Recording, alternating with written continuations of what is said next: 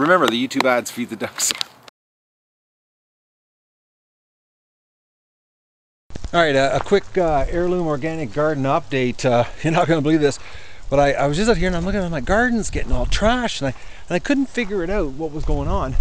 And then I'm looking in the driveway and it's all dug up, and then I look up and there's Mr. Snapping Turtle, or Mrs. Snapping Turtle back.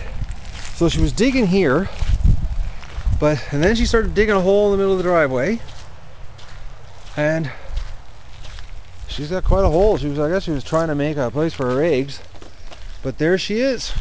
Now this is the snapping turtle I guess from last year that laid her eggs that we had the baby snapping turtles which anybody that's followed my channel uh, will see uh, the videos.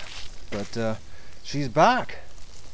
And it's about the exact same time I'm trying to think here. It was in June uh, that yeah we were planting the garden when uh, she planted her eggs or later eggs I should say so She's uh, one confused little snapping turtle.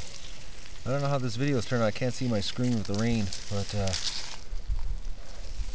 definitely uh, she's trying to do something.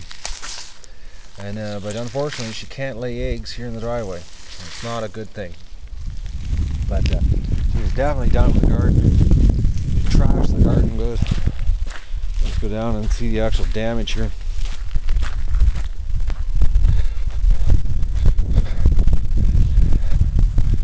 Yeah, she was starting to dig, screwing the corn up.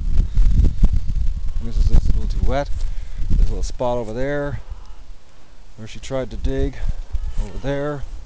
So the garden is, uh, I guess, not dry like it last year. Was very dry when she laid her eggs. So yeah, there's no other spots. Now she came on and she tried to do her thing.